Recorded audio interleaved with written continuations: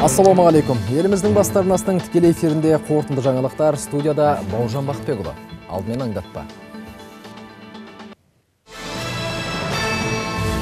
Саршағанда тұңғыш рет МиГ 171 тікұшағының тегеуріні тексерілді. Қарағанды өңірінде өтіп жатқан әуе әскерінің оқу жаттығуынан репортаж күтіңіз. Орталықтың іргесінде деген аты ғана. Петропавлдан жеті ақ шақырым орналасқан ауыл тұрғындары ауыз суға жармай отыр. Районның әкіміне де барып айттық. Ә, анда да барып айттық. Осы халық жиналып хат та жолдадық. Жоқ бірде ешқандай қозғалыс жоқ. Мәселе қашан және қалай шешіледі? Маңғыстаудағы жер асты мешіттері юнеско-ның бүкіл әлемдік мұралары тізіміне енуі мүмкін. Ескерткіштердің әсіресе құрылысы жағынан ерекшелігі ол дүние жүзінің мамандарын таңдандырып отыр. Қазір көне сәулет ескерткіштерінің тізімі жасалып қажет құжаттар әзірленуде.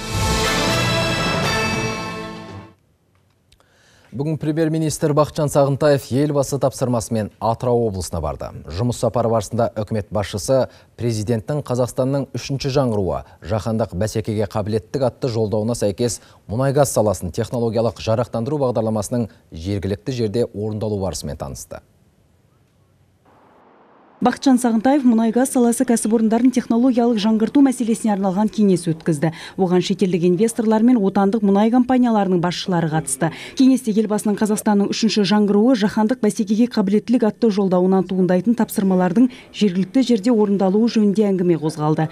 Өз жұмыстарымен таныстырған мұнайшылар саланы жарақтандырудың тиімді тұстарын атап көрсетті. Бүгінде қазақстандағы үш мұнай өңдеу зауыты қазір толықтай қайта жарақтандырудан өткізіліп жатыр. Жоба аяқталғанда елімізде мұнай өңдеу үш миллион түсті мұнай өнімдерінің көлемі екі жарым миллион тоннаға артатын болады. Жиында шетелдік жобалардағы қазақстандық үлесті арттыру мен өңірлердің дамуына инвесторлардың рөлі де назардан тыс қалмады. Үкімет басшысы каспий қайраңындағы солтүстік каспий жобасымен танысты. Қашаған мұнайы д аралына жинақталып құбырлар арқылы болашаққа мұнай дайындау зауытына жеткізіледі. Мұнда жылына жиырма екі бүтін оннан бес миллион тонна қара алтын дайындалады. Бүгінде қашаған жобалық қуатына жетті. Атырауда тәулігіне төрт мың бес жүз тонна күкіртті түйіршіктеуге арналған зауыттың құрылысы аяқталуға таяу. Негізгі өнімін шетелдерге экспорттайтын зауыт қараша айында іске қосылуы тиіс. После модернизации нефтеперерабатывающих заводов. Жоба аяқталғанда елімізде мұнай өңдеу 13,8 миллионнан 16,15 миллион тоннаға артады.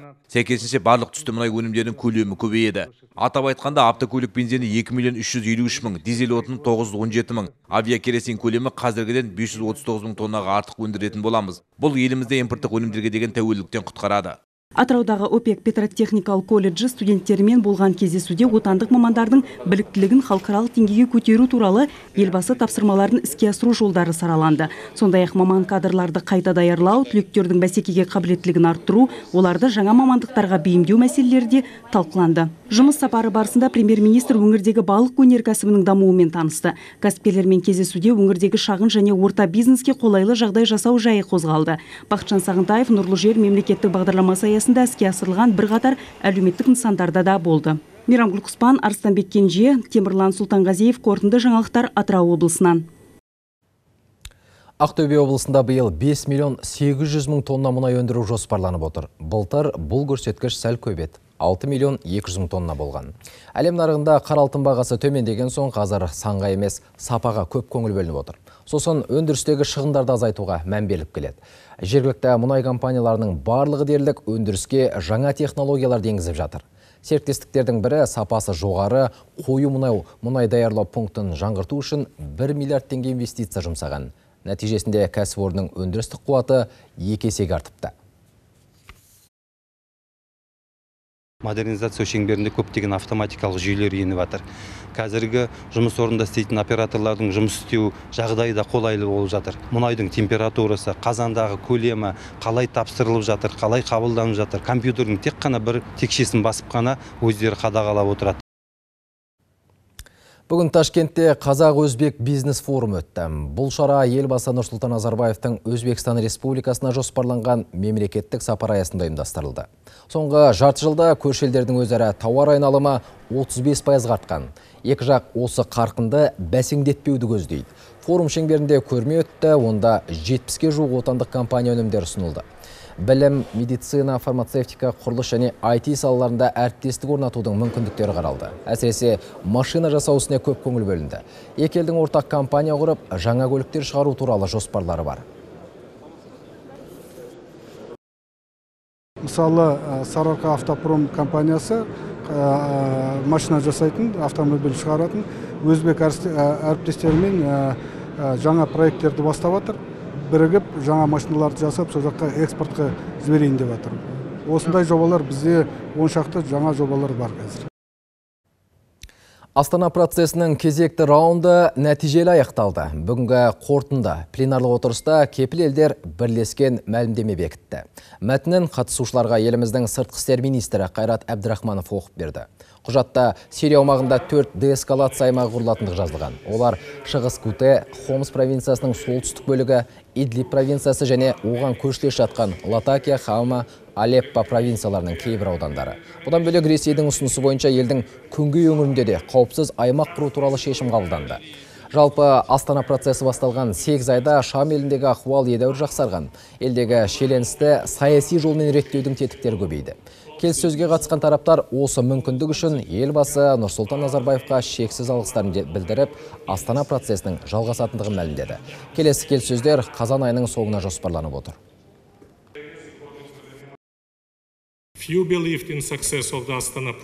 Көпшілігі қаңтар айында басталған Астана процесінің табысты боларына сенбеді. Дегенмен Астана процесіне қатысушылардың күш жігері мен табандылығының арқасында қазіргі уақытта осынау өте күрделі дағдарыстың бейбіт жолмен шешілеріне сенім бар. Бүгін Астана процесіне қатысушылар бейбітшілік пен тұрақтылықты қалпына келтіруде байыпты нәтижелерге қол жеткіздік деп мәлімдей алады. Олар мүмкін емес жағдайға қол жеткізді. Бұл бағыттағы күш жігер Сириядағы деэскалация аймағының құрылуына себепкер болды. Деэскалация аймағының тиімді жұмыс істеуі Сириядағы зорлық зомбылықтың ауқымы мен деңгейін айтарлықтай қысқартуға мүмкіншілік жасады. Бұл Астанадағы ең маңызды тәжірибелік нәтиже саналады.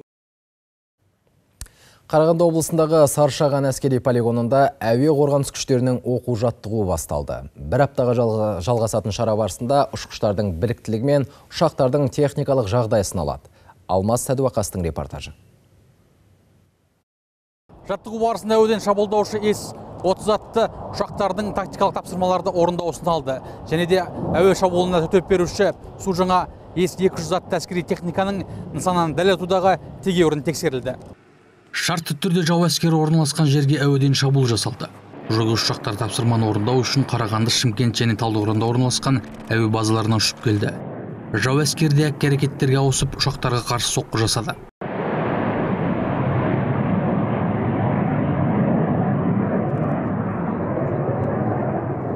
бұл жаттығуда былтыр ғана алынған миг жүз жетпіс бір тікұшақ алғаш рет сыналды. Тактикалық тапсырманың орындалуын бақылаған қолбасшылық жаттығуға өз бағасын берді. Біздің ПВО-ның техникалары кішігірім ә, ашық қашықтықтағы орта қашықтағы ұзын қашықтықтағы техникалар бәрі ә, қосылды. Жаттығуға расчет құрамы ә, өзінің алдына қойған міндетін төртке орындады деп айтамын оқу жаттығу әлі бір жетіге жалғасады. Еліміздің әуе қорғаныс күштеріне жаңа ұшақтар қажет дейді әскерилер. Қазір ресеймен су 30 жойғыш ұшағын сатып алу жөнінде келіссөз жүргізіліп жатыр. Алмас садуақас ерлан абжанов қорытынды жаңалықтар. Қазақстан президенті Нұрсұлтан Назарбаевтың ислам елдер арасында инфрақұрылымдық интеграция құру туралы идеясына қырғыз ғалымдар да үн қосып жатыр. Елдің білім және ғылым вице-министрі бұл бастама ислам елдер арасындағы барлық транспорттық дәліздерді біріктіруге мүмкіндік береді дейді. Осы тұрғыда қазір ғалымдар мен сарапшылар ауқымды жобаның интерактивті картасын жасауға кірісіп кеткен. Принципе, все направления. Біз үшін әрине барлық мәселелер жөнінде бас қатырған дұрыс. Алайда біз екі жақты тұжырымдама жайында жұмыстар атқардық. Ол біріншіден денсаулық сақтау, екіншіден ғылымды дамыту салалары. Ғылыми ізденістер мен технологияларды да ұмыт қалдырмадық. Оның ішінде әрине математика, ғарышты зерттеу, жер бедерін қадағалау да бар. Бұл мәселелерге байланысты біздің ғалымдар міндетті түрде өз ойларын ортаға салады. Көп замай арнайы экономикалық және индустриялық аймақ қатысушыларына жер учаскелері бір терезе қағидаты бойынша берілетін болады. Әзірге бұл міндет әкімдіктердің құзырында. Бүгін арнайы экономикалық және индустриялық аймақтар туралы заң жобасы мен өзге заң актілеріне енген өзгерістер көпшілік назарына ұсынылды. Шағын бизнесте қолдаудан құр қалмайды, құжатта ол үшін арнайы шағын индустриалды аймақ ұғымы қарастырылған. Кәсіпкерлердің міндеттері мен құқықтары да заң жобасында тәптіштеп жазылыпты. Арнайы экономикалық аймақтар бойынша қазіргі таңда біраз қиыншылықтар болатын тұғын. Осының бәрін реттеу бойынша әзір жаңа жобасы әзірленді. Мына басқарушы компания қалай қызмет көрсету керек инвесторлардың құқықтары кәсіпкерлердің құқықтары қалай қорғалу керек қандай міндеттері бар қандай құқықтары бар оның бәрі реттеліп отыр. Ел тұрғындары соңғы үш айда салмағы 10-нан 100 грамға дейінгі шамамен 900 алтын құйма сатып алған. Бүгін Алматыда өткен баспасөз мәслихатында ұлттық банк төрағасы осындай мәлімет келтірді. Жалпы мамандар қазір алтын құймалар бас артық ақшаны инфляциядан қорғаудың сенімді құралына айналғандығын айтады. Оның үстіне бағалы металды қайта сатудың да еш қиындығы жоқ. Осы жиында Данияр Ақышев криптовалютаны реттеу мәселесіне қатысты өз пікірін білдірді. Достаточно ли инструментов қазір біз бақылаушы позициясын ұстанып отырмыз. Егер сіздер бұл криптовалютаны қазақстандық нарықта емес айталық көрші бір елден сатып алатын болсаңыз онда бұл мәселені реттеу қиын болады. Көш қолаңның тынышын алып, отбасының берекесін қашырған бұзақларда қамауға алу мерзімі ұзаруы мүмкін. Әкімшілік құқық бұзушылық туралы заң жобасында осындай жаңашылдық бар. Бүгін құжат мәжілісте таныстырылды. 2015 жылдан бері әкімшілік қамау 48 сағаттан 3 сағатқа қысқарған еді. Енді оны 24 сағатқа ұзарту ұсынылып отыр. 3 сағатты мас, бұзақы сабасына түспей босап, өшін алуға тырысуы мүмкін дейді ішкі істер министрінің орынбасары Ерлан Тұрғынбаев. Депутат Меруерт Қазбекова болса, тіпті 48 сағатқа қамауды қайта қайтаруды сұрады. Бұл өте маңызды мәселе. Мұның артында тағдыр мен трагедия жатыр. 24 сағат бұл проблеманы шешіп бермейді. Ең дұрысы бұрынғы 48 сағат еді. Сондықтан бұл сұрақты жұмыс тобында қайта қарауды ұсынам. Халыққа қызмет көрсету орталықтарының жұмысы ширап келеді. Бір терезе қағидаты бойынша жұмыс істейтін бұл мекемелер әуелі мемлекеттік қызметтің ашықтығын арттырды. Сосын ұзын сонар кезекті азайтып, құжат күткен халықтың уақытын үнемдеуге көп көмек болды. Жаңадан кәсіп бастаймын дегендерге мемлекет тарапынан көрсетілетін қызмет әлде қайда жақсарды. Халыққа қызмет көрсету орталықтарында құжат рәсімдеуде ашықтық, жылдамдық байқалады дейді кәсіпкер Латиф Шахасанов. Мейрамхана бизнесін жандандырып отырған азаматтың енді шаруашылық ашпақ ойы бар екен. Халыққа қызмет көрсету органдарының өте бір ұқыпты бір терезе қағидасының орындалып жатқанын көрсетеді. Әрине бұл өте бір қолайлы жағдай халыққа. Бұрында мысалы үшін апталап жүретін болсақ бүгінде 5 минут 10 минуттың ішінде бітеді. Ешқандай бұл жерде коррупцияның ешқандай бір пара берудің ешқандай жолының ә, жоқтығын көрсетіп отыр. Жас маман жасұлан кушебаев қалалық әкімдіктің бас инспекторы. Болашақ бағдарламасының түлегі мемлекеттік қызметке өткен жыл келген екен. Қатал сынақтан өткен соң жоғары лауазымға ұсынылған. Мемлекеттік қызметте жұмыс жасау ол бір үлкен ә, дүние. Себебі халықпен жұмыс істеу адамдармен жұмыс істеу өте бір университетте де ала бермейтін бір үлкен білімді аласың. Мемлекеттік қызметте үйренетін заттар өте көп. Мемлекеттік қызметке мені тартқан бір мәселе өзім шетелде білім алып келгеннен кейін осы шетелде алған білімімді осы елге деген елдің игілігіне жұмсау деген бір ішімде бір ой туындады. Оңтүстік қазақстан облысында жыл басынан бері мемлекеттік қызметке жаңадан 158 азамат тағайындалған. Аттестаттаудың соңғы кезеңінен 6 мыңнан аса қызметкер ойдағыдай өтіпті. Солардың 250-і атқаратын жұмысына қарай лауазымы жоғарыласа біліктілігін көрсете алмаған 62 адамның қызметі төмендеген. Президенттің саясатына сәйкес мемлекеттік органдарында өткізілген конкурстардың ашықтығын қамтамасыз етудің маңызы өте зор деп ойлаймын. Себебі қазіргі таңда оған қатты көңіл бөлініп жаңағы байқаушылар сырттан сарапшылар эксперттер қатыстыру жолға қойылған. Біздің облысымызда қазір байқаушылар мен сарапшылардың қатысу деңгейі 100% болып отыр. Әлемнің өркениетті 30 елінің қатарына ену үшін мықты мемлекеттік аппарат қалыптастыру маңызды. Себебі мемлекеттік қызмет елдің әлеуметтік экономикалық дамуына сеп болар анық. Нұрбек байболсын нұрмахан мұсатов нұрмахан бекмұратов қорытынды жаңалықтар оңтүстік қазақстан облысынан. Латын әліпбиіне көшу ана тіліміздің тынысын ашады. Мұхтар Әуезов атындағы Оңтүстік Қазақстан мемлекеттік университетінің ұстаздары мен студенттері бас қосқан жиында осындай пікір айтылды. Кездесуде бұл тарихи реформаның маңызы мен тіліміз үшін тиімді тұстары ә, сарапталды ғалымдар мен тіл мамандары латын әліпбиін қазақ тіліне лайықтау ісі салмақты сараптамадан өтуі тиіс дейді. біздің университетте көптеген инновациялық ғылыми жобалар өкінішке орай осы кейбір жобалар өзінің салмағына қарамай ә, көп елге танымалы емес. Осы латын алфавитіне өтетін болсақ біздің осы жобаларымыз әлемге кеңінен танымалы болады ғой деп мен сенемін. Латын әліпбиіне көшу біздің ортақ мақсатымыз. Дәл осындай тақырыппен елордадағы ұлттық академиялық кітапханада Қазақстан халқы ассамблеясы ғылыми сарапшылық кеңестің кеңейтілген отырысы өтті. Келелі жиында қазақ тілін латынша жазудың артықшылықтары, оның мемлекеттің дамуына қосар үлесі сөз болды. Депутаттар мен зиялы қауым өкілдері жүзеге асырылғалы отырған бастамаға байыппен қарап, қаріптерді бекіту ісінде асығыстық жасамау керек десті. Күн тәртібіндегі мәселе нағыз тарихи оқиға. Қазақстанның жаңа даму бағытының бағдары десек болады. Қаріпті өзгерту арқылы қазақтың өзге ұлттармен тілдесуін жеңілдетіп өркениет көшіне ілесудің қадамын жасап жатырмыз. Қазақстан халқы ассамблеясы мүшелерінің латын әріпті әліпбиге көшу туралы түйген түйіндері осы. Алғаш рет мемлекеттік тілді латын графикасына көшіру мәселесін мемлекет басшысы 2006 жылы қазақстан халқы ассамблеясының сессиясында көтерген болатын. 2012 жылы нұрсұлтан әбішұлы назарбаев өз жолдауында қазақстан 2050 стратегиясын тұжырымдап латын әліпбиі тақырыбын өзектендірді. Және 2025 жылды латын әліпбиіне өтудің шекті мерзімі ретінде атап көрсеткен болатын. Ғылыми сарапшылық кеңес мүшелері жаңа реформаның мемлекетке берер игіліктеріне тоқталды. Ассамблея мүшелері қазақ тілінің латынша жазылуы қазақстанға дүниежүзілік қауымдастыққа есігін одан әрі айқара ашу мүмкіндігін тудырады деген сенімде. Оған себеп те бар. Өйткені әлемдік әдебиеттің 80 пайызы осы латын тілінде басып шығарылады. Сондай ақ жаһандық ақпараттың да 70 пайызы латынша жазылады. Бүкіл дүние осы латин әріптерін қолданып жатыр.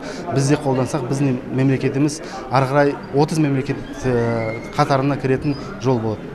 Оқып білу жазу әріп тану бұл интеллектуалды бір белестің көрсеткіші. Сондықтан меніңше біз бәріміз қазір қайтадан сол бір жаңа белеске өткелі жатырмыз. Біріншіден бұл жаңағы елбасының айтқан білім салтанатына біз бет бұрамыз деген ой. Жиналғандар латын қарпіне көшу барысында асығыстық танытпай әр сөздің жазылуын зерттеп мән мағынасын жоғалтпауын қамтамасыз ету керектігін айтты. Қазақ әліппесінің өзіндік моделі біртіндеп қалыптасады, сондықтан барша халық қоғам болып бұл үдерістің сәтті жүзеге асуына атсалысу керек деп қорытындылады қатысушылар. Жұрағат Баман, Жандос қорытынды жаңалықтар. Латын қарпіне көшу бүгінгі қоғамның таңдауы. Бұл Алматы облысындағы қоғамдық бірлестіктер мен үкіметтік емес ұйым өкілдерінің ортақ пікірі. Басқосуға саяси партиялар мен жергілікті бұқаралық ақпарат құралдарының өкілдері де қатысты. Олар да латын графикасына ауысуды бір ауыздан құптап отыр. Бүгінде әлем елдерінің 70 пайызы латын әліпбиін қолданады. Ол ғылым мен білімнің жаңа технологияларын тіліне айналды. Бірақ дыбыстардың таңбалануына қатысты қоғамда түрлі сын пікірлер айтылып жатыр. Үкімет міндетті түрде оларды ескеру тиіс дейді жиынға қатысушылар.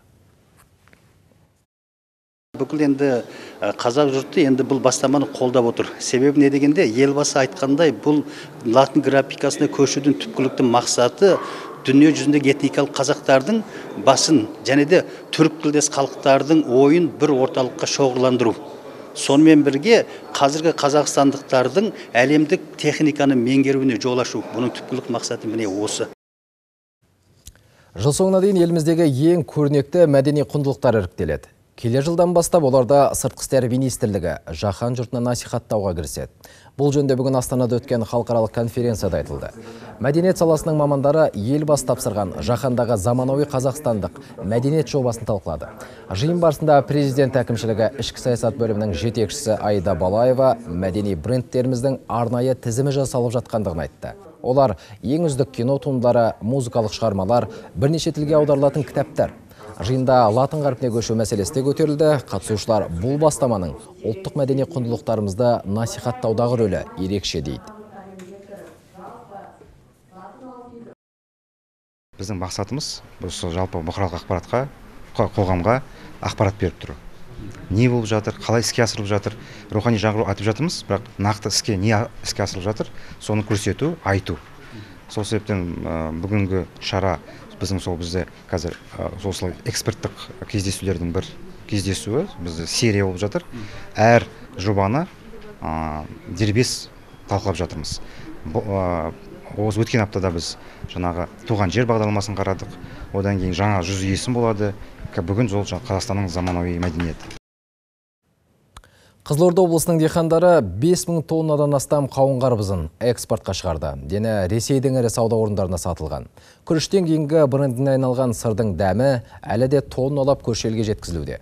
Бүгінгі күнге дейін 500 тонна қауын, 4,5 мың тонна қарбыз сатылған. Дихандар биыл негізінен қауынның күләбі, мырзашөл, жембай және торлама сорттарын еккен.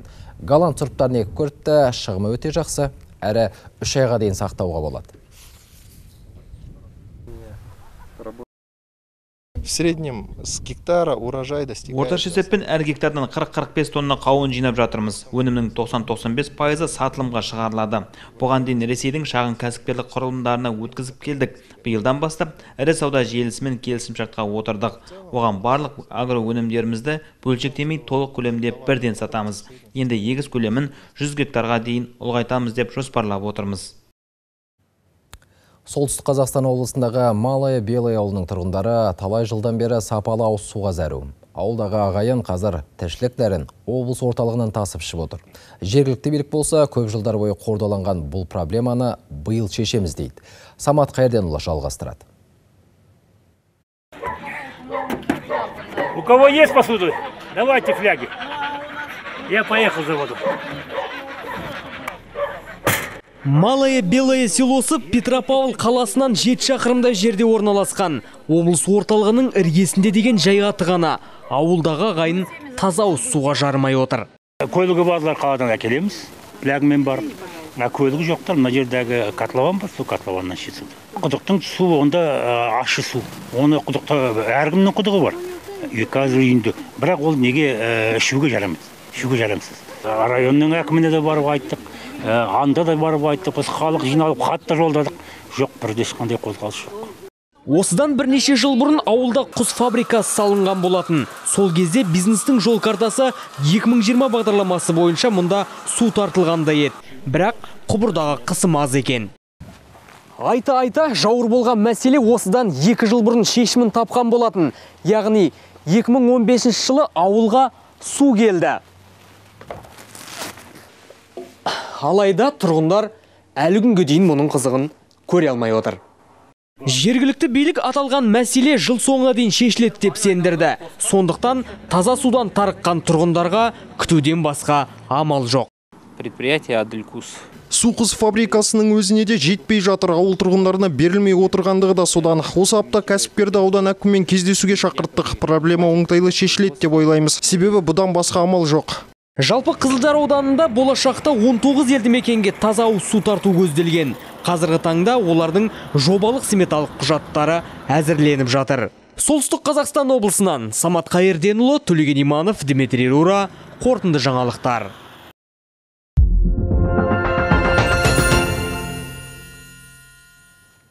Рухани жаңғыру бағдарламасының бағыт бағдары енді бір сайтта жан жақтай шықталады. Бүгін елордада арнайы бірыңғай ақпараттық порталдың тұсауы кесілді. Жаңа контент арқылы туған жер, киелі мекен жағрапиясы, жүз жаңа тұлға, латын әліпбиіне көшуге қатысты ақпараттарға қануға болады. Сондай ақ жастар ғылыми танымы зор, тағылымы мол фильмдерді көріп, білімдерімен сусындай алады. Алдағы қазан айында рухани жаңғыру бағдарламасы ЮНЕСКО-ның Париждегі штаб пәтерінде таныстырылады.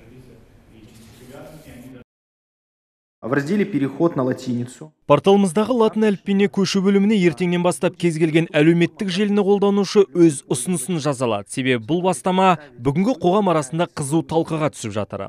Ал жұмыс тобының мүшелері мен тіл саласының мамандары халықты толғандырған мәселелерге жедел жауап беріп, тиісті ақпаратпен қамтамасыз ететін болады.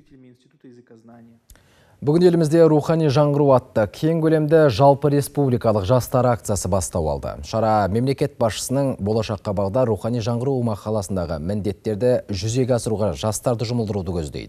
Акция аясында қыркүйектің 15 мен 22 аралығында барлық өңірлерде білім, асар, тағзым және өнер деп аталатын төрт бағыт бойынша іс-шаралар өткізілмек. Еліміздің болашағын баянды қылып, саяси экономикалық даму қарқынын сақтаудың кілті рухани жаңғыруда жатыр. Сол себепті де елбасының болашаққа бағдар атты тарихи мақаласында осы мәселеге мықтап мән берілді.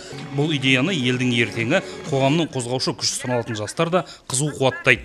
Бүгін Астанада бастау алған жалпы республикалық акция ортақ іске барша жастарды жұмылдыруды көздейді. Мемлекетіміз гүлденуіне біздің бүкіл жастарымызды аянбай еңбек етуге шақырамыз. Біз жалпы мемлекетіміздің бүкіл жалынды жастарын біріктіріп осы рухани жаңғыру болашаққа бағдар елбасының мақаласын бүкіл халыққа жеткізіп тікелей көмегіміз тисін деп үлесіміз қосайын деп жатырмыз. Орал қаласында төрт жоғары оқу орнының студенттері батыс қазақстан аграрлық техникалық университетінде бас қосты. Акцияда түрлі ойын сауық бағдарламасы викториналар ұйымдастырылды. Жастар алдында сөз алған осы оқу орнының түлегі сегіз мың метрлік он төрт шыңды түгел бағындырған. Әлемге әйгілі альпинист мақсұт жұмаев рухани жаңғыруды әркім өзінен бастауы керек дейді. Духовное развитие человека начинается адамның рухани жаңғыруы алдымен өзіңе өзіңнің армандарыңа құрметпен қараудан басталады. Осы жерде оқыған қарапайым студенттен әлем таныған альпинист дәрежесіне көтерілгендіктен мен мұны сеніммен айта аламын. Алдымызға жоғары мақсат қоя білу қажет. Ал солтүстік қазақстан облысында жасыл ел еңбек жасағының шеруі өтті. Шараға отанға деген махаббатын іспен дәлелдеп жүрген жүзге тарта жас қатысты. Белсенділер енді рухани жаңғыру акциясының асар бағыты бойынша жұмыс істеуді жоспарлап отыр. Наши дальнейшие планы қарияларға қамқорлық жасау жастардың міндеті. Сондықтан алдағы уақытта біздер жалғызбасты қарияларға көмектесетін боламыз. Ал бұл жұмыстарды жыл бойы жалғастырмақ ниеттеміз. Өйткені біздің белсенділер оған қолдау танытып отыр. Ақтөбелік жастар болса акцияның басталуын қазақстанның тұңғыш президенті атындағы саябақ алаңында атап өтті. Флешмобпен басталып қайырымдылық шараларына ұласты бір апта ішінде жастар жалғызбасты қарияларға қол ұшын бермек. Орайлы селолық округінде көктемгі су тасқынынан зардап шеккен отбасыларға арналып салынып жатқан құрылыс нысандарына барып жүзден астам студент жастарымызбен барып көмек көрсетіп келдік бұл шарамыз өте оң қолдау тапты. Алдағы уақытта бұл шараны ары қарай жалғастырамыз деген ойымыз бар. Бұдан бөлек акция шеңберінде киелі орындардың қадір қасиетін тануға үндейтін өнерлі жастарды қолдауға шақыратын шаралар ұйымдастырылмақ. Жалпы республикалық акция 22 қыркүйекте ақтау қаласында аяқталады. Ерденбек жылқайдарұлы аймақтағы тілшілердің көмегімен қорытынды жаңалықтар. Маңғыстаудағы жер асты мештері топтамасын ЮНЕСКОның бүкіл әлемдік мұралары тізіміне енгізу жоспарланып отыр. Батыс Қазақстандағы ең көне сәулет ескерткіштері деп Шақпақ ата жер асты мештін, Шопан ата, Қараман ата мештері мен Қазақстанның жеті кереметіне енген Бекет ата жер асты мештін атауға болады. Мамандар тастарда ойып жасаған бұл жер асты мешіттерінің әлемде баламас жоқ дейді. 10 және 18 ғасырлар аралығында салынған бұл діни сәулетті ескерткіштер осы күнге дейін жақсы сақталған. Қазір нысандардың инфрақұрылымын дамыту жұмыстары қолға алынды.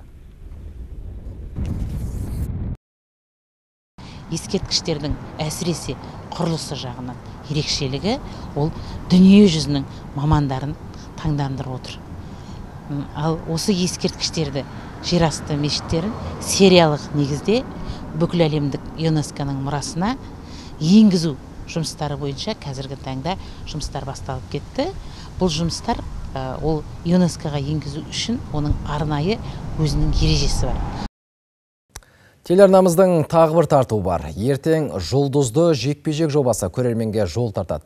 Бағдарламаның форматы мен ерекшелігін Аршын Кемелжан егжей тегжейлі баяндайды. Хабар арнасында бұған дейін жұлдызды дода бағдарламасы болған. Ал жұлдызды жекпе-жек жобасының мақсаты талабы және қатысушылар өзгеше. Бағдарламаның алғашқы қатысушылары Дастан Оразбеков пен Нұржан Керменбаев. Осыншама уақыт өте келе қандай нәтиже жеткізгеніміз қандай деңгейде біздің өнеріміздің қаншалықты шыңдалғанын сол үшін жасалған бағдарлама деп ойлаймын әр жұп үш талап бойынша өнер көрсетеді бірінші өз әндерін айтады одан кейін қарсыласының әнін орындайды үшінші кезеңде жобаның бас төрешісі мейрамбек бесбаевтың таңдаған туындысын айтады. Басты талап әншілер тікелей өз дауыстарымен яғни фонограммасыз айту керек. Біздің шоу бизнесте жүрген топ деп айтады ғой топ әншілердің жекпе жегі. Бұл жерде біз қандай да бір біреудің әлсіздігін көрсетіп әшкерелеу емес. Мақсат Ә, мақсатымыз біздің қазіргі шоу бизнестің даму деңгейін деңгейін ә, көрсету. Ертеңнен бастап эфирге шығатын жұлдызды жекпе жек жобасы жыл соңына дейін 12 бағдарламаны көрерменге тарту етпек. Әншілер сайысына алты адамнан тұратын қазылар алқасы төрелік етеді. Дауыс беру жабық түрде болады. Ал қорытындысын тікелей эфирде көрсетіледі. Соңғы кезеңге жеткен жұпқа көрермендер де өз дауысын бере алады. Аршын кемелжан ерлан әбжанов қорытынды жаңалықтар алматы. Бүгінгі айтарымыз осы. Аман сау болыңыздар.